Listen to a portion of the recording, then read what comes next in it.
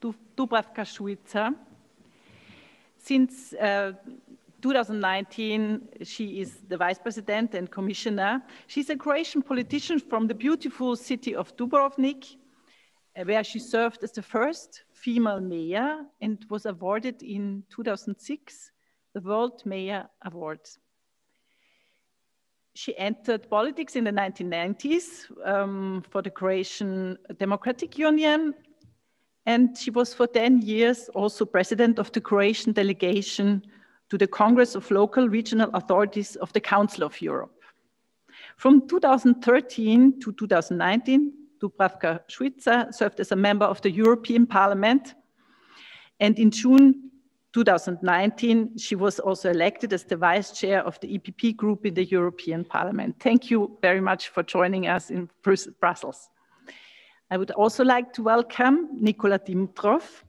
He's uh, the Deputy Minister for European integration of North Macedonia. And uh, he served as the Minister of Foreign Affairs from 2017 until this summer. He studied in Skopje and in Cambridge and specialized there in international law. He started his career at the Minister of Foreign Affairs in 1996 as a human rights lawyer and he was also ambassador to the United States and the Netherlands. He's a former member of the Balkans in Europe Policy Advisory Group, and he was involved in diplomatic efforts for the name dispute with Greece for many years. In 2018, with his Greek counterpart, uh, Nikos Kotzias, he signed then the Prespa agreements to solve the name dispute and as a result of this agreement, his country changed its name to North Macedonia. Thank you so much, Minister Dimitrov, for joining us.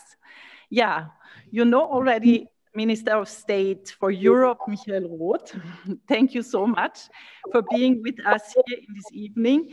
He is also, as a Minister of State for Europe, he's also responsible for the Western Balkans. Yeah, my name is Adelheid Wölfl. I'm a correspondent for Southeastern Europe for the Austrian um, daily Der Standard, and I'm based in Sarajevo. And I'm now very pleased to introduce to all of you a group of six very committed young people from uh, the six Western Balkan states. They spent a long journey together, meeting since 13 weeks via Zoom on a weekly basis and then even more often. Although they've never met in person, they developed trust and very good relations. They all have a professional background in academics, politics, civil society, and business. And I had the pleasure to meet them yesterday online. And they all told me that their cooperation in the past weeks gave them a lot of courage and confidence to continue with their work and to focus on regional cooperation. In this sense, this group of these young people is not only a sign of hope, but also a signal that trust will prevail over fear in the region. And what is all linking them, I had the impression, is that they prefer connections to barriers. These six young people are full of energy and dedication to tackle the current challenges in the Western Balkans. In the past weeks, they dealt with brain drain, with functional illiteracy, youth unemployment, the lack of student exchange within the region, rising authoritarianism, bilateral conflicts, and environmental pollution.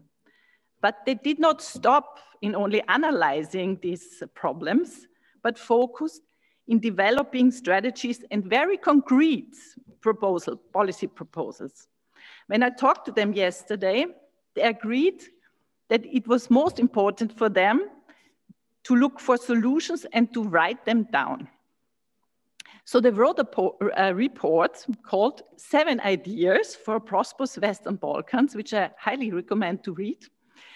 And in this report, they ask for a reform of the regional education system, especially preschool education, increased regional mobility schemes for the exchange of students, but also for vocational training, They demand that Bosnia and Herzegovina and Kosovo sh should ultimately allow visa-free traveling. They want to bring down air pollution, from, especially from coal plants. They consider it as necessary to invest in infrastructure, in digital transformation, but also in the establishment of civic education centers in order to foster young, the young and often labile democracies in the region. And finally, they demand that the Western Balkan states should be included in the conference on the future of Europe. From what I have understood, they had also a lot of fun together and they faced political conflicts with humor. They realized that they have different approaches, but most important, they became really friends, no matter from which country, ethnicity, language. At the end, we were spending more time together than with our families, one of them told me.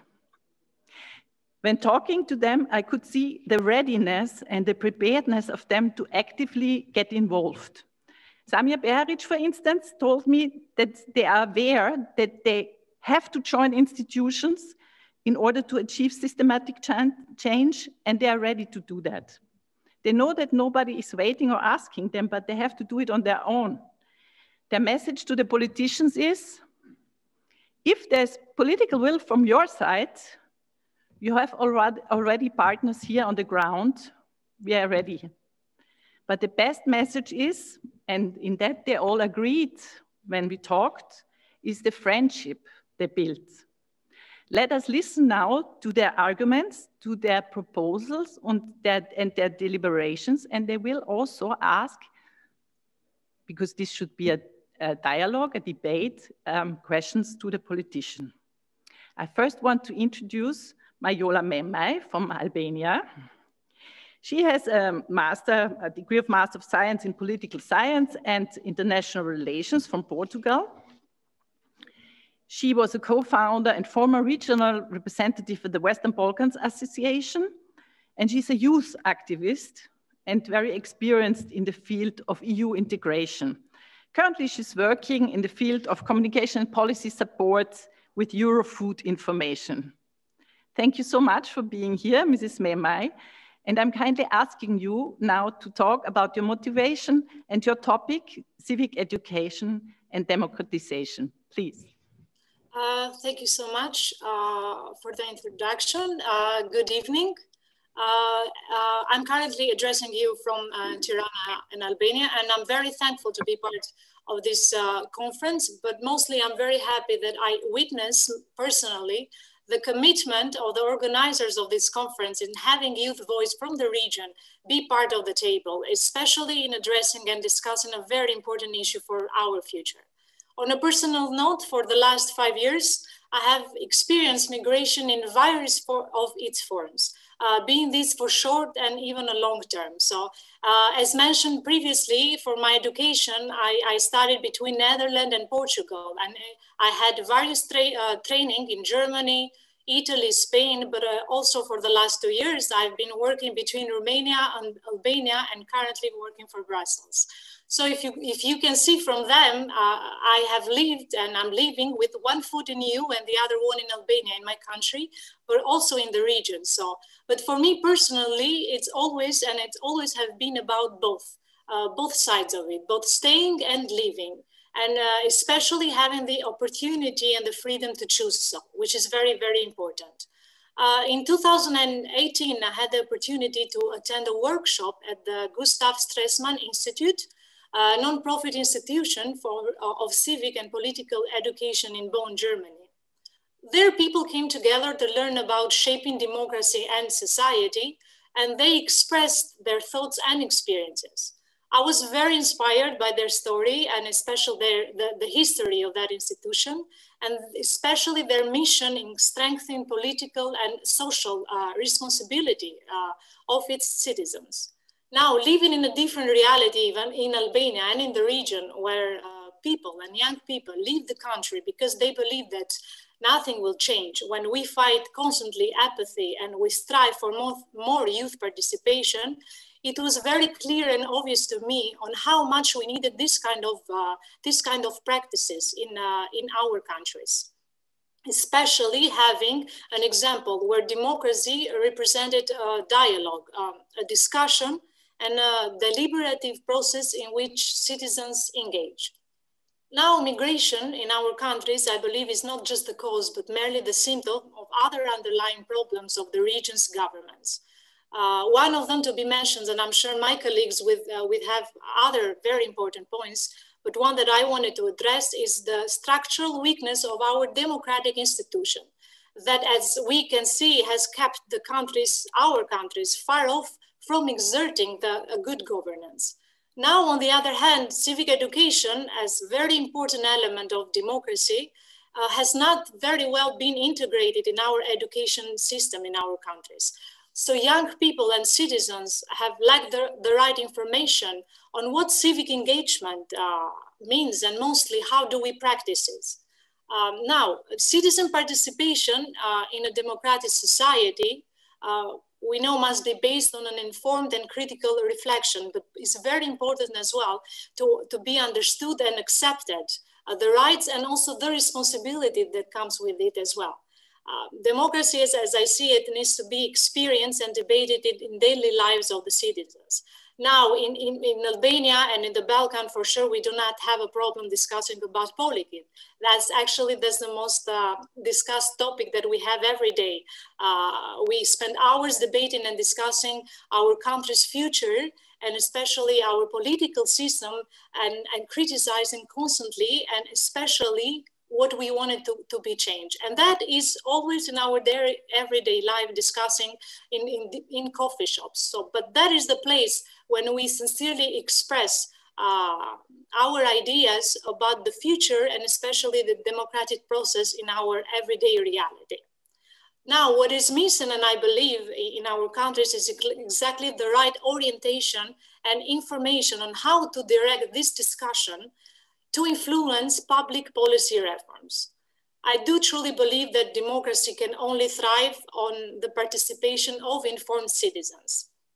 And especially inspired by my trip, in one week trip in, in Germany, and inspired by the role of the uh, civic educational centers, uh, the recommendation that I wanted to share today in this first day of the conference, but especially in this panel, was, was establishing this regional network of uh, six civic education centers.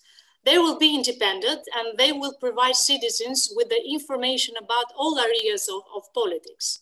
Uh, but this is without being tainted by governments or even, even political parties and will provide them the right space to discuss uh, issues and especially the development of democracy and European integration.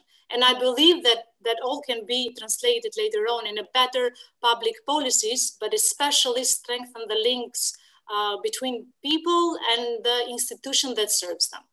Now, following a bit naturally the narrative of this idea, uh, my, my, question is more directed to Mrs. Šuica. Uh, and, and my question would be uh, in, this, in this idea, would the European Commission be ready now, in the light of its commitment to improve citizens' participation in EU democracy, to support the development and, and work of these uh, centers for civic education in the Western Balkan region? Thank you.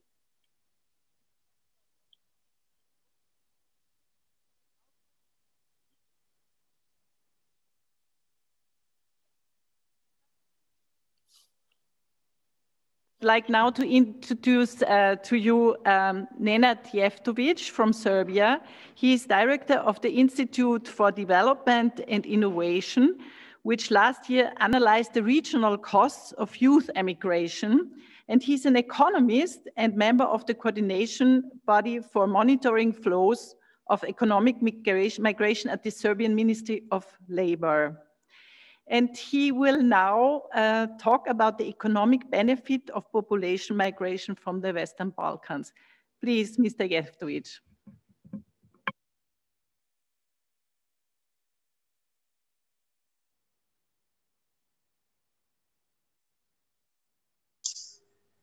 Okay, can you hear me? Can you hear me? Can hear you. Hello to Belgrade. Okay. All the best from Belgrade and thank you very much for this opportunity. My name is Nenad Jevtović and I'm director of the Institute for Development and Innovation from Belgrade, Serbia. Uh, with my colleagues from Institute, I prepared research study into the cost of youth emigration the first of its kind to provide evidence about Serbian migration and to answer one simple question. How much does youth emigration cost Serbia? After that, we have prepared studies, cost of youth emigration for North Macedonia, Bosnia and Herzegovina, Montenegro, and Albania. The most important benefit of the immigration flow is the remittances. Remittances are the money transferred by immigrant, immigrants to the people close to them who remain in the home country. Their income improves the life quality of the recipients, but it's also considerably influenced the Serbian economy and economies of other Western Balkan countries. The, the remittances are very important for our countries. On examination of the allocation structure, I want to underline allocation structure of transferred amounts leads to the conclusion that these funds play an important role in the national economy. But they, they cannot be seen as a generator for future development or further growth while the investment component is too low. Really very, very, very low. Also, there are warning signs that this finance source will start to decrease due to changes in the form of migration in the future, in which currently the migration of entire families dominates from Serbia and other Western Balkan countries. Another reason is to uh, generational change in the migrant population. In line with that, uh, I have a question for uh, dear Mr. Dimitrov.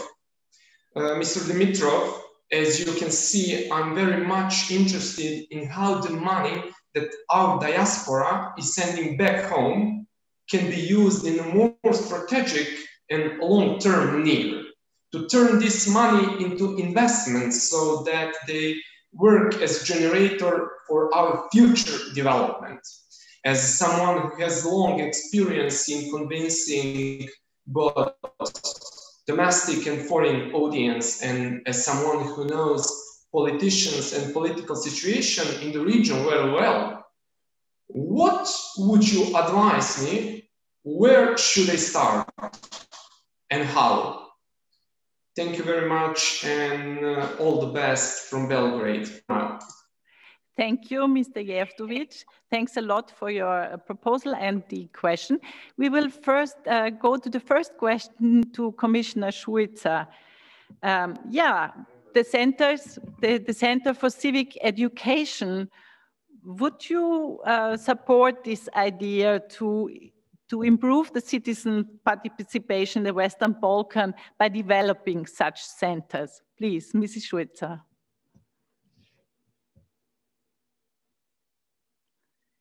We cannot, unfortunately, we cannot hear you.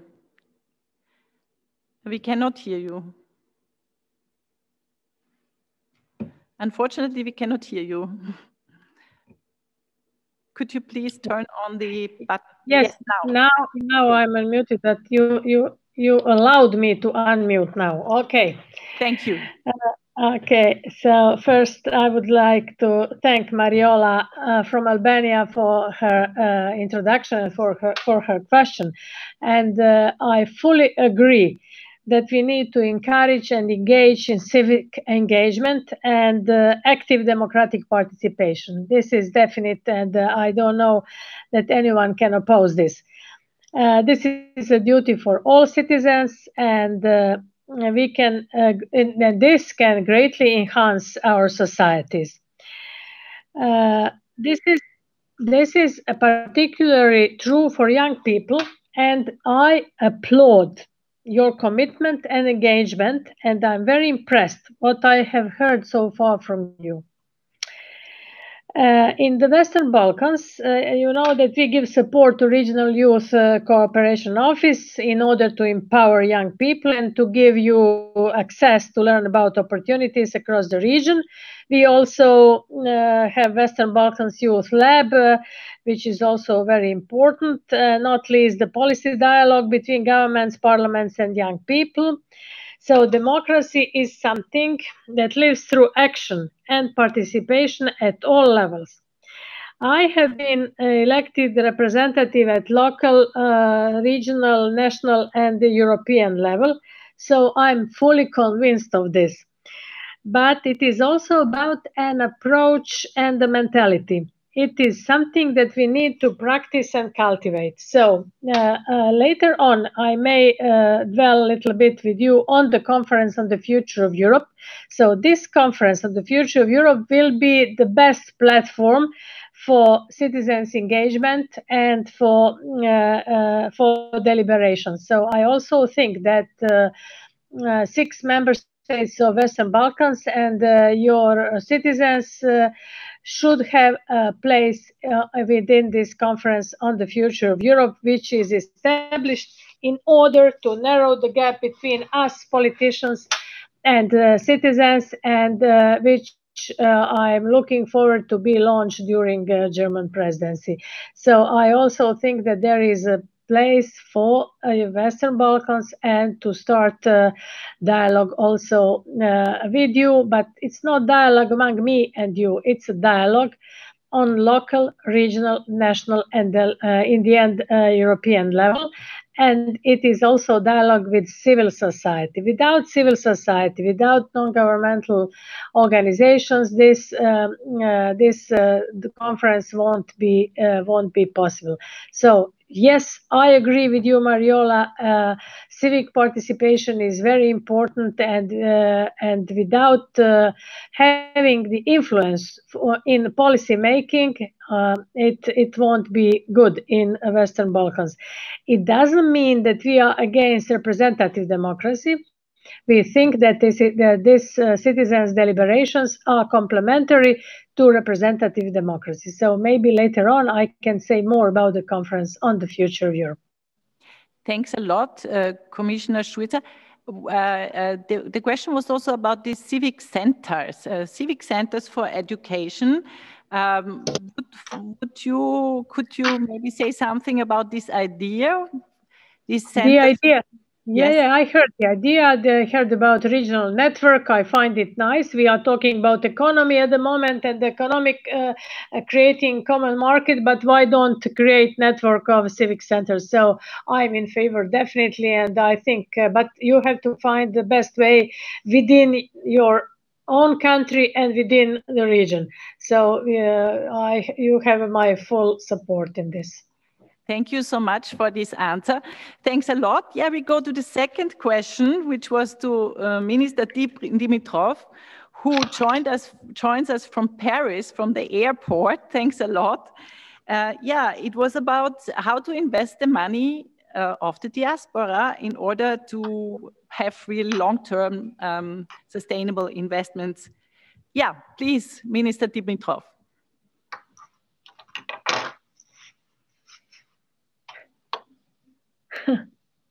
Can you hear us? We cannot hear you. There is a button, maybe. Yes, yes. Can great. you hear me? Welcome. Okay. Can, can you understand me speaking with the mask? Yes, we do. okay. So, first of all, apologies for me looking like an astronaut. but I but I have to respect the rules and as you said I am uh, joining from the Charles de Gaulle airport in, in Paris on my way back home. At the outset, I'd like to congratulate my great friend uh, Michael Roth and Minister Heiko Maas for this conference on probably the most important topic of our generation for the region. Uh, the whole region is in a race against time because we need people like we have here on my screen we need them at home so that they can there can be prosperity. But in order for they to stay at home, we need the hope for prosperity. uh, in my country and uh, throughout the region. So briefly, before I go to the question on remittances versus investments, I think uh, partly we have economic uh, pull factors. Uh, unemployment is still uh, high and salaries are still by and large uh, much lower than uh, those in the rest of our continent, in the rest of Europe. So um, one is, do young people have enough around them to have a hope for a prosperous life? Then back to uh, inclusiveness and democracy, I think what what's another push factor is um, whether they can have uh, equal opportunities, that is meritocracy versus clientelism, and whether they can compete with their capabilities and, and their education in a system that works. Education here is extremely important. And I think probably the most urgent need in this field is to take PISA tests seriously. The whole region uh, is not doing very well when it comes to primary education in particular, understanding and basic mathematics. So I think we need to focus on that and maybe prepare roadmaps, what it is that we can do to create results in this key uh, area. Then I think we also need to tackle uh, air pollution and the issues of, in, of, of, the environment. And I am quite encouraged that uh, in the newest investment plan of the European Commission, uh, there is a plan and there are European funds in, by way of grants to start getting rid of the coal plants that are really creating uh, pollution throughout the region. I think most of the biggest polluters in Europe are actually in, in the Balkans in terms of uh, coal power plants. Uh, so um, now back to this question. And by the way, I cannot uh, resist the temptation to quote Minister Maas, who in his introductory speech said, either the EU will come to them or they will come to us. And uh, I think this is the choice that both the EU and our region will need to make.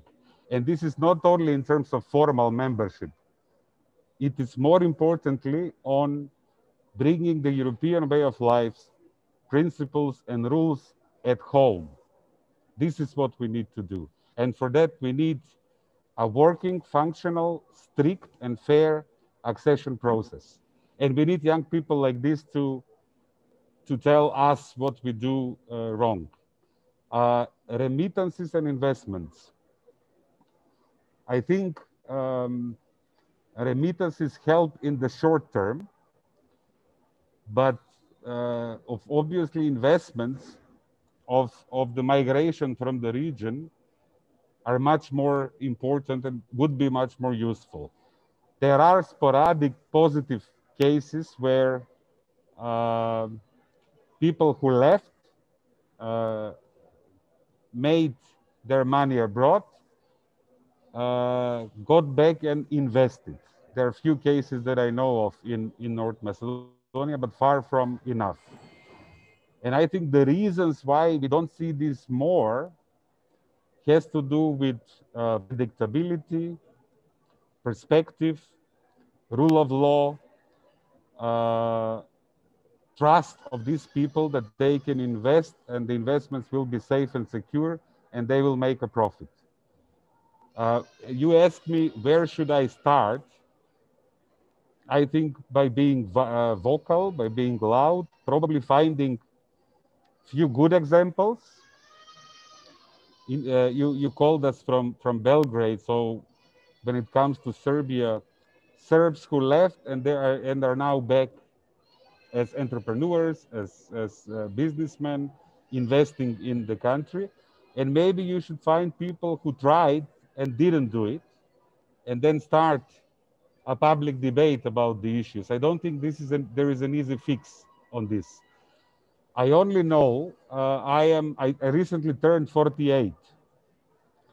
I was 18 when at that time, Macedonia, today North Macedonia, became independent.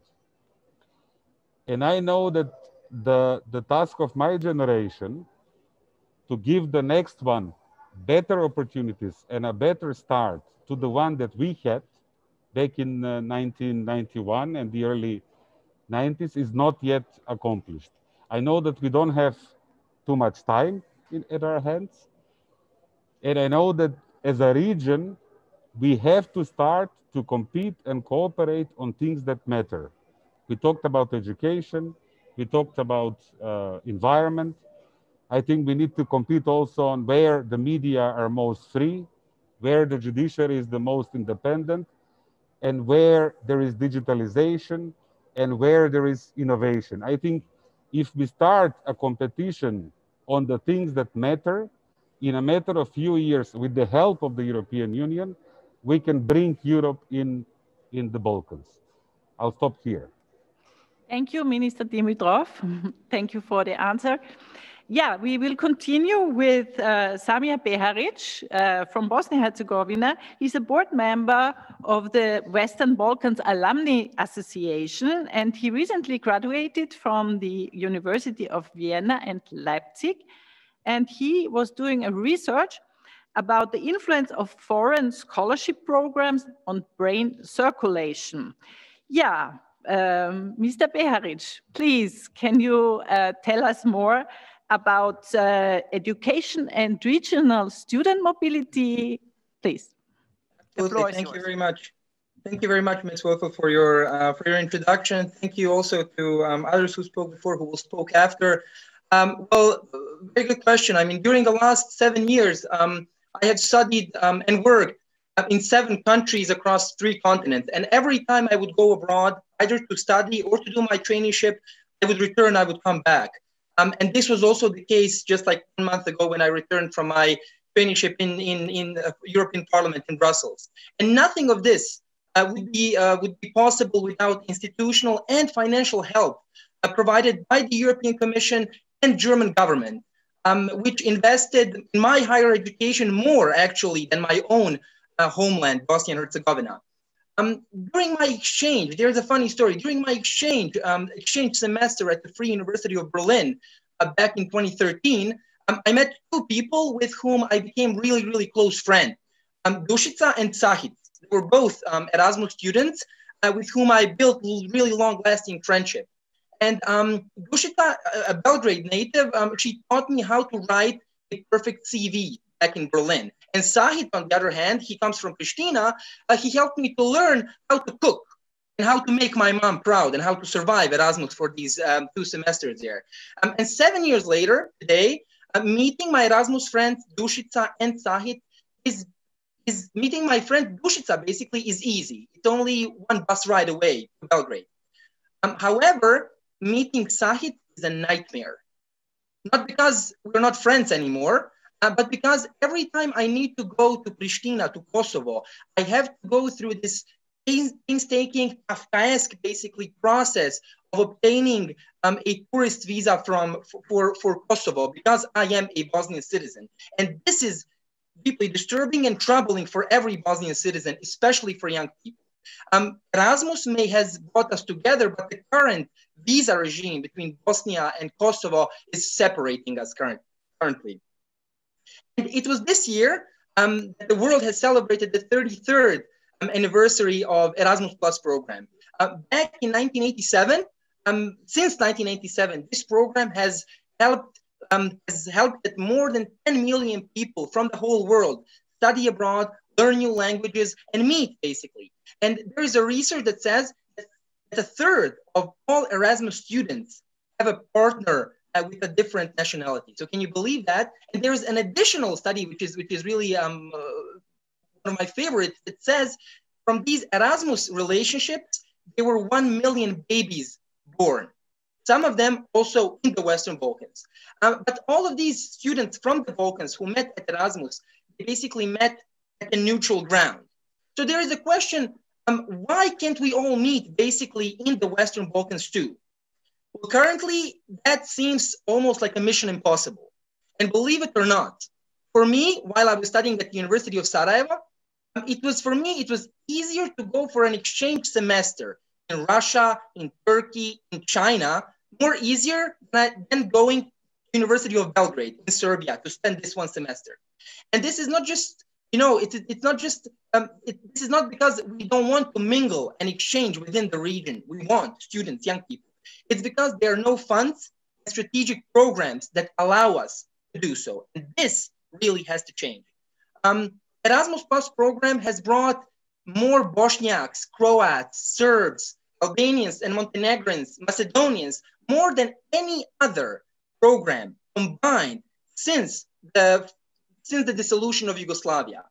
And I would say that it is integrated education and transborder research activities, um, mingling of young people within the region. This is something that helps us break prejudice and build long-lasting relations among ourselves, among youth. And this should be the highest imperative, I would say, uh, for our for our generations. During the last 13 weeks, you said it yourself. Um, I worked together with 11 amazing people from the Western Balkans, preparing this paper that um, you will be able to read online. One of the main elements and one of my favorite elements of the paper, one of the, one of the recommendations of the paper is that Western Balkan governments, together with the EU, should expand joint degree programs between the EU and within the Western Balkans. And this would this would absolutely increase the intra-regional mobility within the Western Balkans. However, there is a small problem. There is no intra-regional mobility in the Western Balkans without the EU member states taking a step and allowing visa-free travel between Kosovo and EU states, and at the same time, for Bosnia and Herzegovina and Kosovo to mutually abolish the visa regime that currently prevents young people to travel uh, between each other. And just to conclude, basically today we live in a moment where the EU action is needed much, much more than ever before. And this is not just for me to make it easier for me to um, visit my friend Sahit uh, in Pristina. This is about fostering and building relationship, long-lasting relationship between the young people in the region. Without the young people in the Western Balkans, I truly believe there is no united Western Balkans in the long run. And this is what we aim for and strive for. And in that light, I would have a, I would have a question for uh, Minister Roth. Um, it will be related again to, to um, visa liberalizations and visa regimes. Mr. Roth, um, would Germany be ready as part of its um, EU presidency uh, to encourage European Commission to provide financial, both financial and technical support to increase the intra-Western Balkans mobility scheme of young people and especially university students? And secondly, would Germany be interested in initiating facilitation of enabling visa-free travel between Kosovo and Bosnia and Herzegovina? Thank you very much. Thank you, Mr. Beharić, very much for this vivid uh, contribution. Many greetings to Jajce. We will, uh, before answering this question, we will go to Egzona Bokshi. She is uh, from Kosovo, I think from Pristina. very much welcome. She is engaged in empowering youth in a, in a project which is funded by the UN Secretary's uh, uh, General's Peace Building Fund called Empowering Youth for a peaceful, prosperous, and sustainable future in Kosovo. And she also coordinated a mentorship program within uh, United Nations volunteers. Um, Mrs. Bokshi will now talk about the debate for the future of Europe and the engagement of the Western Balkans. Please. Uh, thank you. Thank you so much for the for the introduction and for the for the chance and the opportunity to, to share our uh, insights and, and, and problems. Uh, it is funny. I mean, I come from a country that actually hold, holds two European records. One is actually quite positive, but but the other one is actually definitely negative and has a dooming impact on Kosovo's future.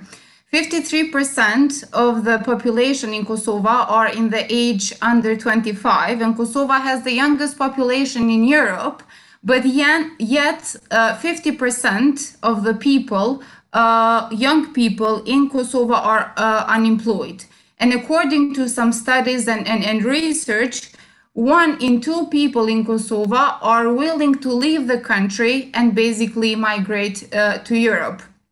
As, as we are speaking and, and as we can see right now, the problems that the region entirely have are not just one and are not just that simple, are problems that are, are, are complex are, are complex problems. And it's not just about young people trying to leave or trying to stay. But yet, we young people in the region, when we see and try to find solutions for these problems, we are usually voiced only in, in a regional level. And in my perspective, I think this regional perspective of giving voice to our solutions is, I think, is lacking.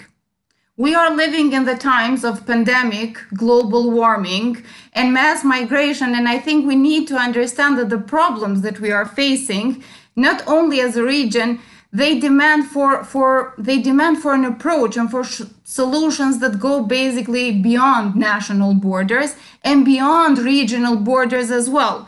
But yet, I am concerned that every time we speak for the future of Europe, sort of Western Balkans are not included, and yet we are seen or considered to be or to become Europeans.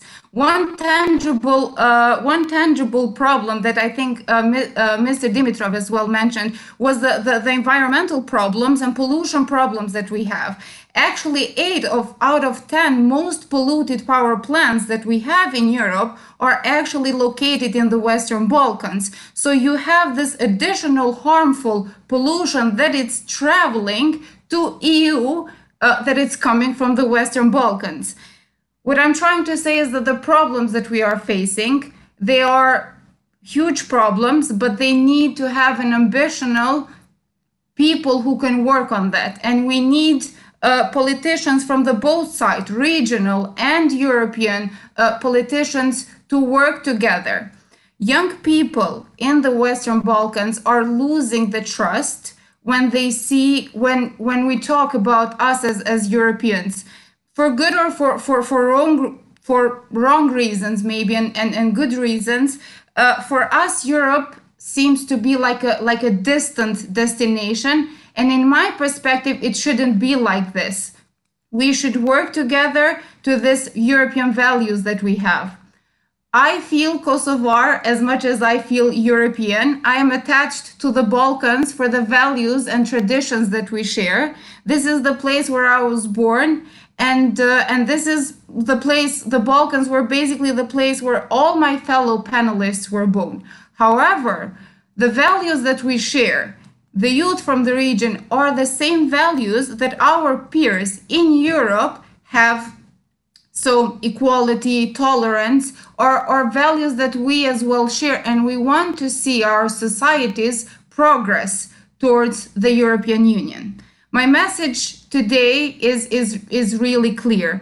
Uh, we want the young people from the young people from the region. We want to be considered uh, in, or we want to have a seat on the table every time we are speaking and we are debating for the future of Europe because uh, we want to find solutions not only for the regional problems but but for the Europe as as a whole because I think and and I think all my my fellow panelists agree uh, Europe without the Western Balkans is not complete, just as EU project without the Western Balkans six is not complete either. So uh, regarding to regarding to, to my message, uh, my question is uh, is addressing uh, towards um, Mrs. Šuica. So uh, in your uh, European Commission portfolio, which includes demography, in June you published a report on the impact on demography changes and this report uh, brings out the major impacts and demography changes in economic growth, labor markets, and basically the needs for the public uh, finances. My question is Would you consider doing the same report with the same methodology for the Western Balkan Six as well? In your speech uh, for the future of Europe, and I'm quoting here, the Conference of the Future of Europe is an excellent tool to, to engage and involve all Europeans. Can we, the youth from the Western Balkans, rely on your support and the Commission's support to include the Western Balkans Six in the Conference for the Future of Europe? Thank you. Thanks a lot, Mrs. Bokshi. Many greetings to Kosovo. We will first now go to the question of Mr. Beharić uh, to Minister of State, uh, Mr. Roth. This was about the support for um, more mobility for young people within the region, um, financial, maybe technical support. Uh, also, um, the question was about how to enable visa-free traveling between citizens of Bosnia and Herzegovina and citizens of Kosovo. Please, Minister Roth. Thank you so much. And um, I feel really privileged to attend this very special panel with great guys and ladies from the region. Um, I would like to share some uh, very personal and private experiences with you. I was born in a very small village in the middle of nowhere in Germany, close to the former border to the GDR. I was a child of a workers' class family, no money, no chances. I was the first one in my family who went to university. And I'm a bit jealous. Um, I'm a bit jealous uh, because of your excellent language skills, your outstanding experiences, your academic background. You have so many advantages and opportunities, much more opportunities than I have had in the 90s when I went to university and made my degrees at the university. I just studied in Germany. Now, one of the biggest success stories of the European Union is the Erasmus Plus Youth Mobility Program. And this is not just a success story for the Western Balkan states. It's also for it's also a success story for a prosper country like Germany with a strong economy, with a stable welfare state. And it's not just about money. Money is also key. That's why my government was extremely committed to increase the money for Erasmus Plus. We, we, we will invest 50% more money into Erasmus Plus program, but not just for the academic elite. From my point of view, all young people should have the opportunity to participate in such a program, a youth mobility program, to overcome stereotypes, to overcome cliches. We, we are living in extremely dangerous times, not just because of the pandemic. The major threats are nationalism and populism, racism. That is the reality. This is a fucking reality in my country. This is also the reality in your countries. Regional reconciliation in the Western Balkans is key, and that is one of the main objectives of the so called Berlin process interconnectivity, mobility. It should be rather normal that you come together, that you discuss, that you change, uh, that you share your experiences, that you work not just in your home state, but also in other Western Balkan states or in Germany or in France, and that you have the chance to come back to um, build up a bright future for your own countries. So I can't agree more. Mobility is the key. And I don't like the whole discussion because it's too much focused on business and on, on economy.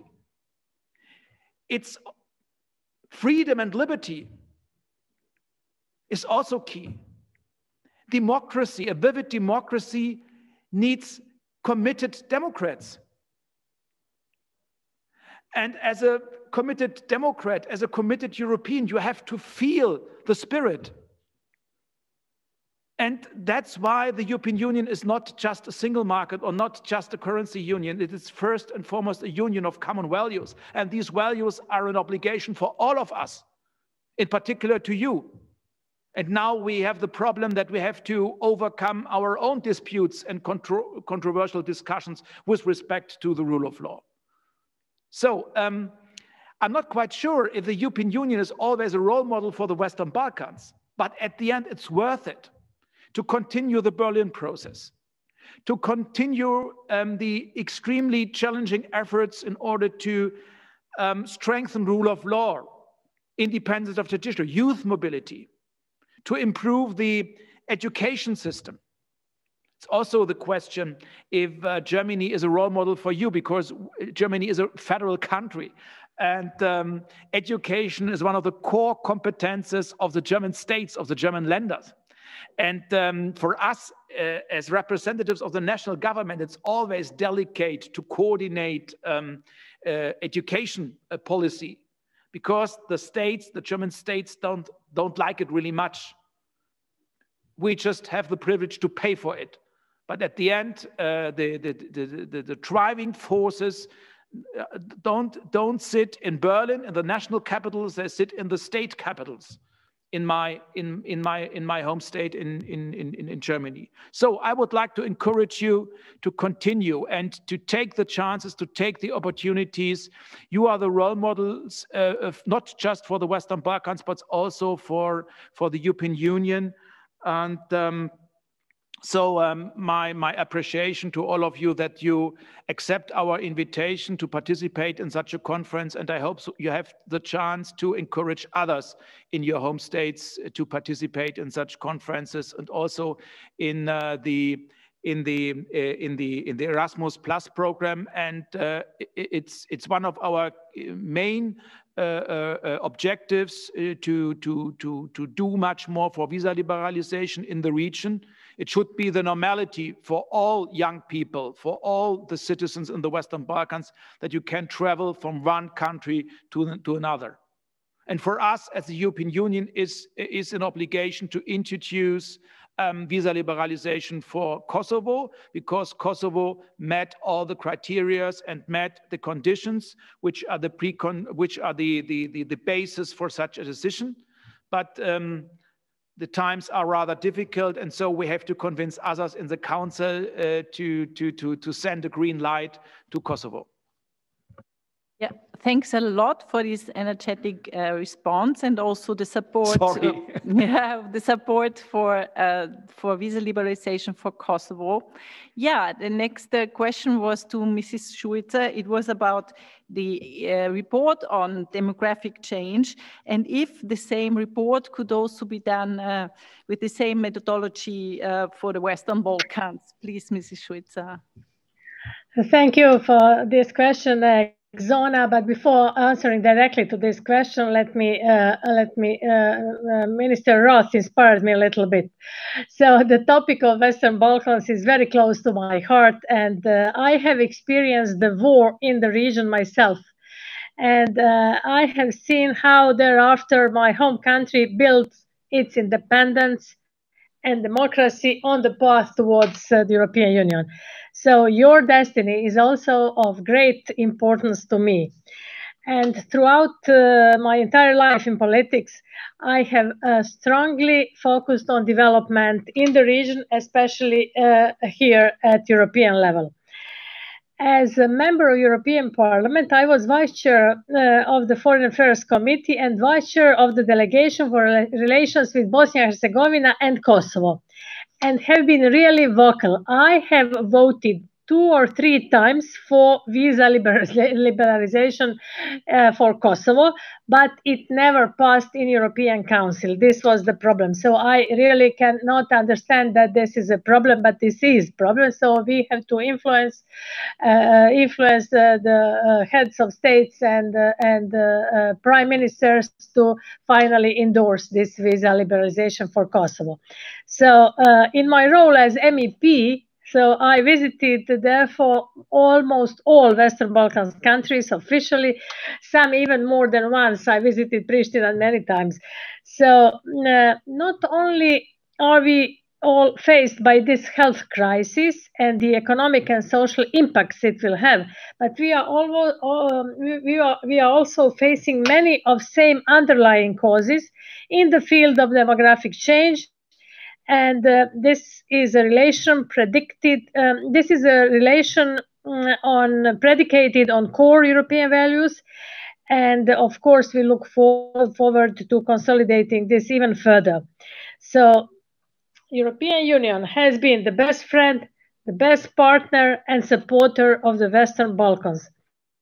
I'm, I can uh, quote you, European Union without Western Balkan is not complete. I'm sure we cannot leave this hole in the West, in, in the in European in the heart of European Union. So I think we have shown this on many occasions and proved uh, it. We proved it during current crisis and also vice versa uh, we are touched by the support offered by some Western Balkans governments to European Union member states. And this is also why we believe that uh, uh, as we prepare ourselves to launch a reflection on the present and future of Europe, we must ensure that the countries of Western Balkans find a place in this exercise. This is not to be determined today during this dialogue, but it is something to be uh, to be uh, borne in mind. You mentioned demographic uh, first uh, ever demography report. You know that this is first ever portfolio on demography in European Commission, and uh, President Ursula von der Leyen assigned uh, me with this uh, portfolio, which is very important because we saw it's the problem of whole Europe and also of Western Balkans. We share same problems, we share same values, and uh, on 17th of June, the Commission adopted a report on impact of demographic change. And this report identifies main trend, trends and addresses the possible impacts of demographic change. So we know that the main uh, trends are longer life expect expectancy, fewer births, uh, aging population, smaller households, and of course, uh, uh, more mobile Europe and changing population size. So, uh, if I may tell you only one example, we live in last 50 years, we live, we Europeans on average, we live 10 years more. So we have to uh, anticipate this uh, in our policies. Regarding your, your question, uh, in, in this report, in this report, we recognize that it is important that to take into account what happens also in our neighborhood and the world at large. So the broad demographic trends that we can observe in European Union are similar to those in Western Balkans, for example. So there is not uh, uh, much difference. At this moment, I have to answer directly. We are not planning to draw up a similar report on the Western Balkans, but we do look closely at the developments in the region and monitoring done by others, such as European Union Population Fund. So they published recently, for example, a report on depopulation as a global challenge and zoomed in on the situation, for example, in Serbia. So, uh, of course, we will uh, we will uh, uh closely monitor, as I said. But uh, uh, once again, I have to reiterate the Conference of the Future Europe. It is intended as a reflection on what our citizens want from, from Europe. But of course, the countries of the Western Balkans are part of that future, both by aspiration, but also by history and geography. So the Commission is open to consider how best to devise the involvement of the Western Balkans, our close European neighbors, in the Conference on the Future of Europe. So the pandemic has demonstrated the extent to which European member states and other countries in Europe, including Western Balkans, depend on each other and how we need to work together. So, uh, if I may reiterate, the, the, Western Balkans, EU Western Balkans Summit on 6th of May under uh, Croatian presidency, the Commission acknowledged that the partners of the Western Balkans will need to find their place in our forthcoming reflection on the future of Europe. So decision is uh, decision on this is not on the Commission alone. The overall structure and governance of the conference are still to be agreed uh, still to be agreed among uh, three institutions, Parliament, uh, Council, and Commission. Since we have a uh, Minister Roth here, I'm sure that the Council will take this into consideration, and I'm sure that there is a lot of com uh, in common, and there are many fields like security, energy, climate change, which are also relevant for Western Balkans. You mentioned environmental and pollution problems. I know about this. I know that, uh, that, that this is also a problem. So we strongly believe that the citizens should be able to discuss in the Conference of the Future Europe the topics that matter most to them. And uh, this is also important uh, when we, uh, if I may reiterate, uh, if, if, I may come back to first question uh, put uh, by Marjola, so this is also a, this is also a question of civic engagement. We need to involve the citizens and hear to them. Among six priorities, among six headline priorities of this commission, I could imagine that in particular the twin transitions, so the green transition and digital transition are of great interest for people, uh, peoples of Western Balkans. Uh, in the context of this terrible pandemic, we get a lot of questions and interest in health policies from citizens everywhere. And I'm sure that uh, health will be on top of the agenda of our citizens. But again, citizens also citizens of Western Balkans should be free to raise the topics that are, that are of concern to them. And we want to hear from them. So uh, this was a little bit broader answer, but definitely uh, we take uh, whatever you said into consideration.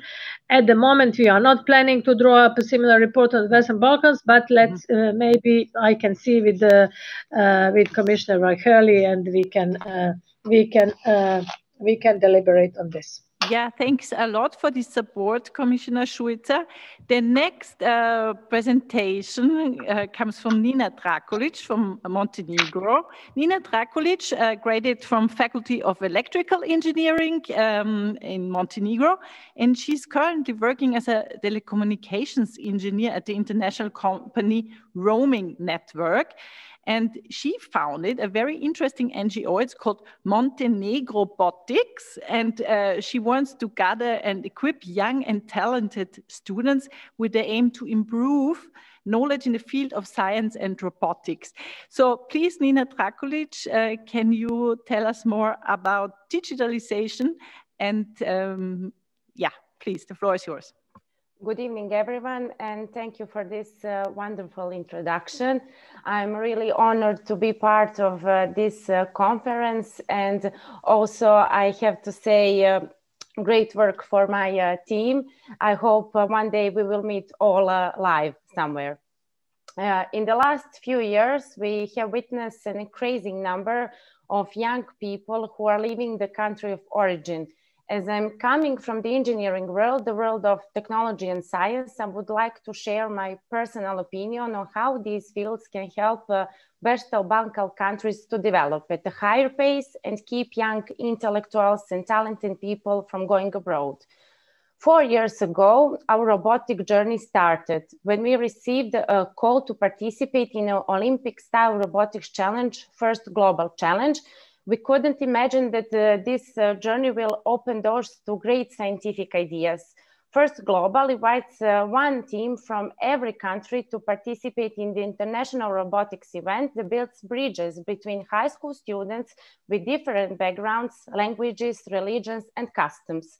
It is held in a different nation each year from Washington, DC, Mexico City, Dubai, and this year, unfortunately, online because of pandemic situation my colleague and I, as a coordinator and mentor, uh, we decided to uh, form each year a new team so uh, we can uh, face with the world's grand challenges and find solutions for uh, polluted water, how to use renewable energy uh, for medicine, etc. From uh, this experience, we learn how to work with each other, trust each other, and become part of truly global community. This led us to found an engineering organizations, NGO Montenegro Robotics, devoted to robotics and smart system technologies development. Our goal is to continuously gather young enthusiasts who, by studying and applying scientific and technological inventions, want to contribute to a better life of our society and environment. In this pandemic uh, period, we have seen how important the digitalization really is and how much we have to work on its development. Today, the term digitalization has a broad meaning. Digitalization is that your mobile phone can replace your paper city map for example, and uh, or that you can enter the app on your phone instead of entering the bank building when you pay your monthly bills. Digitalization is also the fact that information that was once deeply hidden in the archives is now available to you in just a few seconds. Digitalization is all that computers can do for, uh, for us, and we must learn to take advantage of it. As uh, Mr. Dimitrov and Egzona said about air pollution, elevated level of air pollution are one of the four most common causes of health problems and mortality in the world. According to the World Health Organization, WHO, 43% uh, of lung diseases, as well as the 25% of heart attacks occurred as a result of increased air pollution. Also in the WHO and the EU repro reports from 2018, uh, the countries of the Western Balkans, including Montenegro, are among the five countries with the most polluted air in the Europe. Uh, maybe we have some solution for that, and I will share with you information about our product called ECOMAR. ECOMAR is an ecological monitoring and reporting system, is conceived as the first Montenegrin product in a concept of smart city intended for environmental monitoring. That is a product of modern industrial design, contains measuring sensors, electronic components to collect and send data, as well as web platforms and data visualization application. The applications of, the, of uh, our products are numerous. We were guided by the idea it is necessary to raise awareness of society as a whole about the importance of preserving the environment and improving air quality, which unfortunately isn't currently an idea at an adequate level. I believe that uh, smart cities are the present and the future, and as such, they attract investment and stimulate economic growth. Smart cities and the countries attract young and creative people, which would result in the creation of multidisciplinary teams that can make an outstanding contribution to the creative and accelerated development of the West Balkan countries. Uh, my opinion that uh, investing in these fields is is uh, to your question. uh, investing in these fields is one crucial step to keep young, talented people from going abroad. Regarding this topic, I have a question for Mr. Dimitrov about the EU economic and investment plan, and in particular its parts on the uh, digitalization. Do you think it provides enough financial and technical support uh, for Western Balkans to bridge the gap with the EU? And second, do you see political readiness across the region to work towards closing that, that gap? Thank you. Um, thank you so much, Mrs. Drakulić. Since Minister Dimitrov was already looking on his clock, I think it might be better that he is directly answering this question. Minister Dimitrov, uh, the question was about technical support for the Western Balkans to bridge the gap when it comes to digitalization. And um, yeah, please, can you maybe add something to this? Thank you. Okay, am I unmuted? Uh, can you hear me? Yes. Okay, perfect. So, um,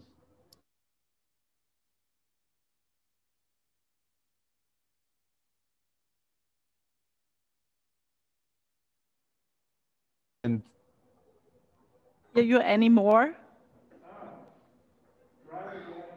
Can you try again? We don't hear you anymore. Yes. Can you hear me now? Yes, perfect. Okay. So and in a matter of months, uh, in Greece, uh, they did really good things in digitalizing services, uh, public services for the citizens. I think we can really do a lot with digitalization. First of all, it's a way to fight corruption.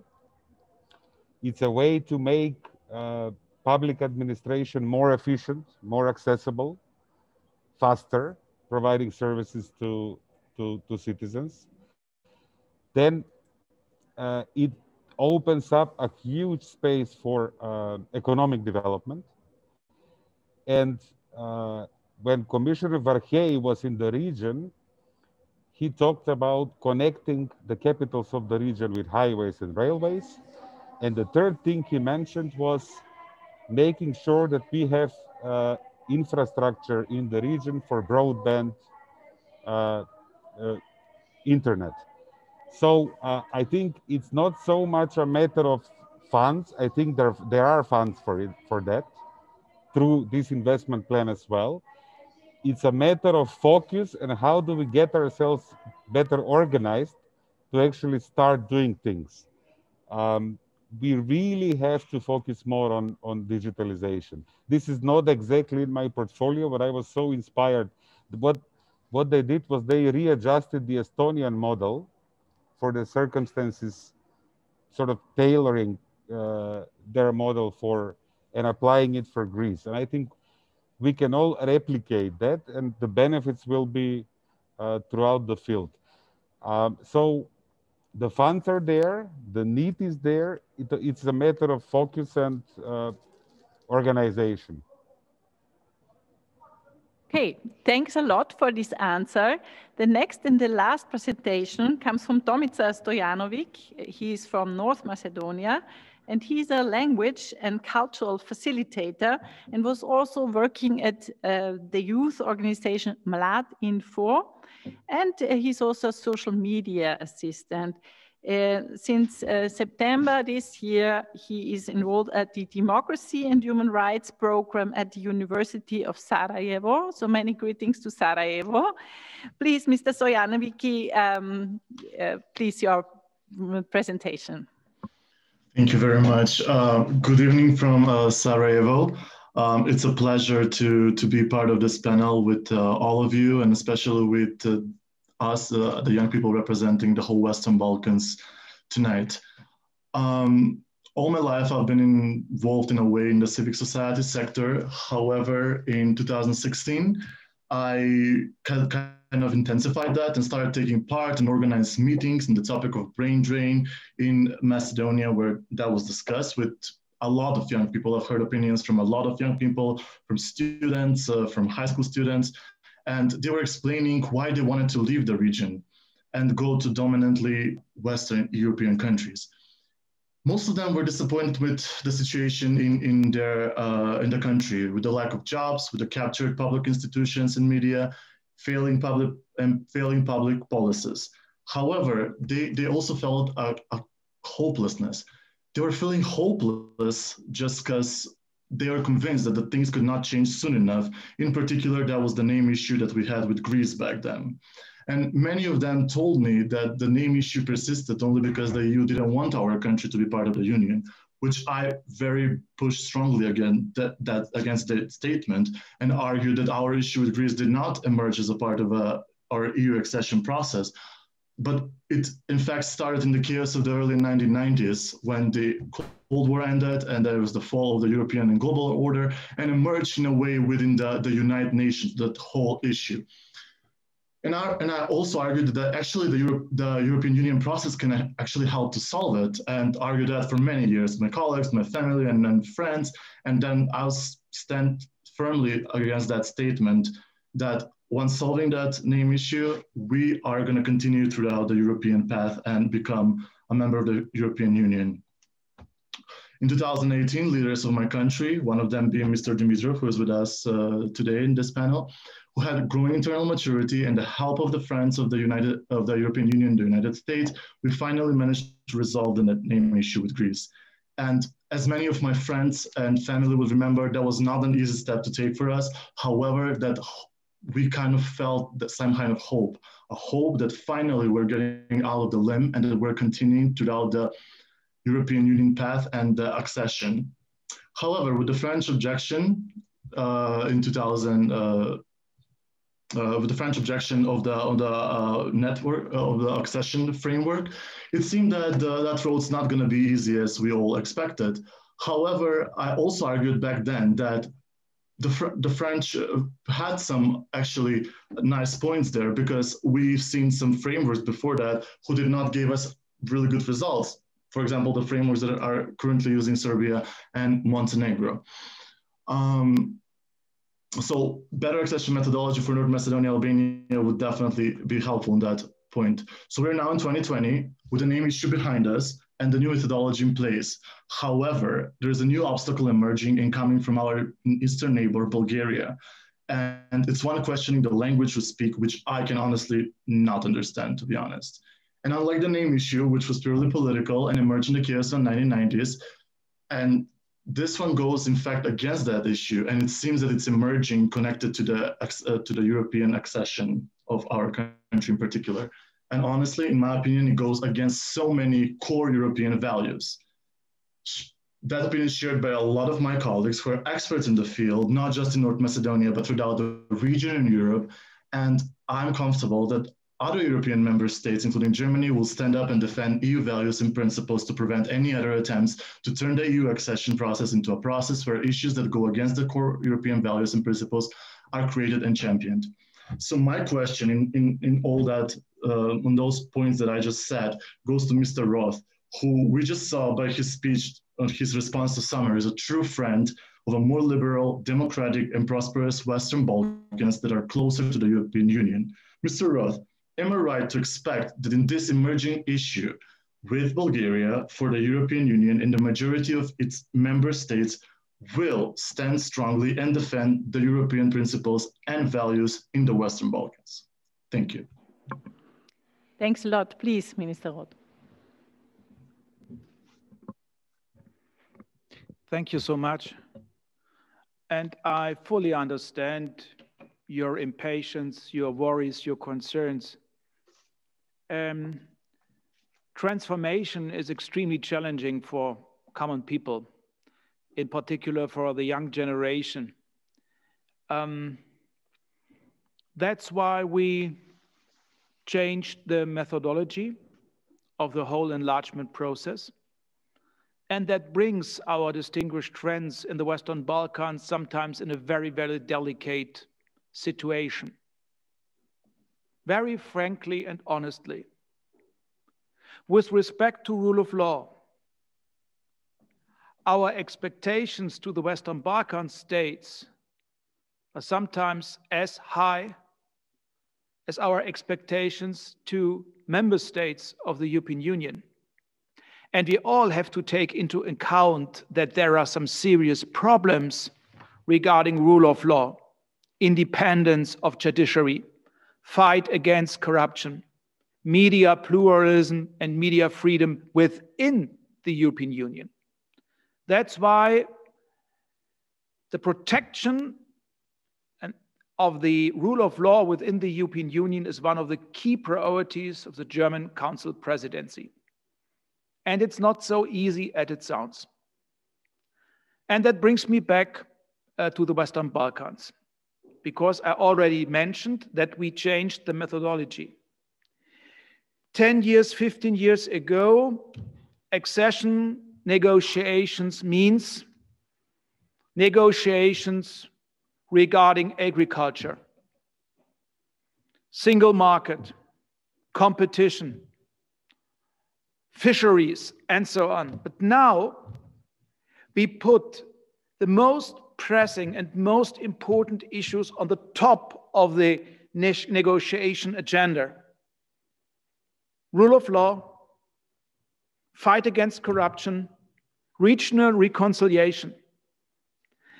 And that's extremely challenging for all of you because you have overcome long disputes and controversies and you need political leadership that's why we need brave political leaders like Nikola to overcome such disputes. Nobody outside the region understands the complexity of these conflicts. That's why we try to be supportive in order to find sustainable solutions which are acceptable for both sides.